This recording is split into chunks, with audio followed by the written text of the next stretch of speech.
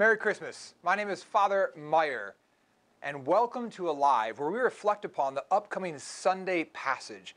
Well, Christmas this year is on a Friday, so many of you will be going to Mass on Thursday or Friday, and this little reflection is to help you prepare for that.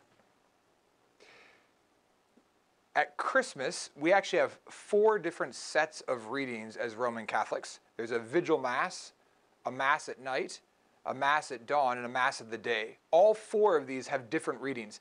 So I'm not exactly sure what reading you're going to get. I'm going to be reflecting upon Luke chapter 2, 1 through 4. Luke chapter 2, 1 through 4, which tells us Luke's account of the birth of Jesus. One thing that I find to be unbelievably challenging in the gospel narrative is the poverty of Jesus. Jesus was born into poverty. I mean, like, really severe poverty. We don't really like to think about that because it makes us feel uncomfortable because mm, most likely if you're watching this, you might be watching on your phone or your computer, which means you have electricity, which means you have a house, which is a lot more than what Jesus had. And we can try to brush away the poverty that Jesus was born into but let's just be very honest. Jesus was born into poverty. When he was born, he was born in a barn or a cave or a place where animals dwelled. He was wrapped in swaddling clothes. He was literally wrapped in rags. And who came and visited him? Shepherds. Shepherds were the poorest of the poor. That was Jesus' birth. Even his presentation at the temple 40 days later, Mary and Joseph can't afford a lamb, so they offer two pigeons or turtle doves. They're forced to go to Egypt in exile. Fear, really, that the child would be killed as an infant. I don't know what your nativity scene looks like at your house. But oftentimes our nativity scenes have a lot of glitz and glamour. Things look pretty silent, pretty peaceful, pretty beautiful. And yet we forget the poverty of Christ.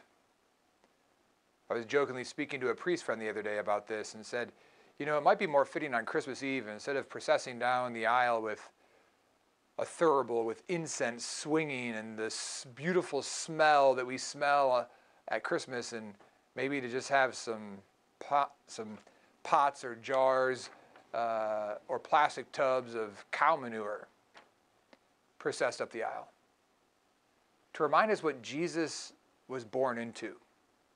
The reason why this is really important, the reason why poverty of Christ is so important is because we're really broken. We're really poor. And yet Christ chooses to enter into me. And he chooses to enter into your life.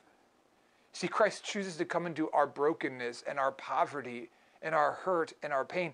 And if we take away the poverty from Christ's birth, if we take away the brokenness from Christmas night, then why would Christ come to you? Why would he come to me? And where will he find his home?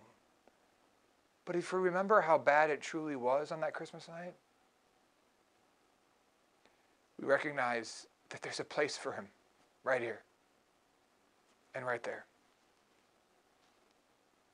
Because I'm a lot more broken than a smelly barn.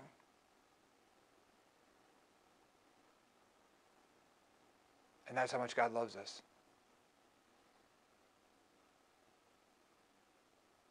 Let's look at some questions for you for this upcoming Christmas feast. What's the basic message or story? How often do you reflect upon the poverty of Christ? Does the glitz and glamour of this holiday season keep us from realizing the poverty of the Holy Family and the humility that God became man? Why do we give Christmas gifts? What do you love most about Christmas? What verse, image, or message spoke to you most in today's reading? Why does the announcement of the birth of the Messiah to shepherds seem odd? Do you believe in angels? Have you ever seen an angel? Or seen them working in your life? If so, how? I hope these questions help you to prepare yourself and your family for the birth of Jesus Christ.